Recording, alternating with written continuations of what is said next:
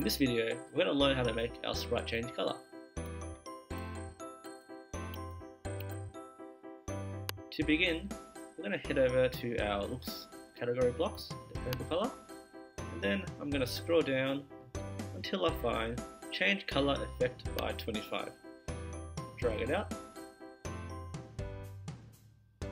After that, I'm going to go to events, and then I'm going to use my when space bar key is pressed. That means whenever I push my spacebar on my keyboard, it's going to ch change my cat's color.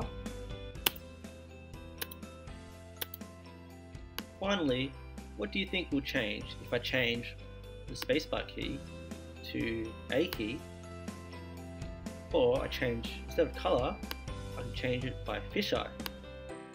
So I, I want you to give this a go. So just try playing around the settings such as maybe change the color to fisheye, whirl, pixelate, and so on.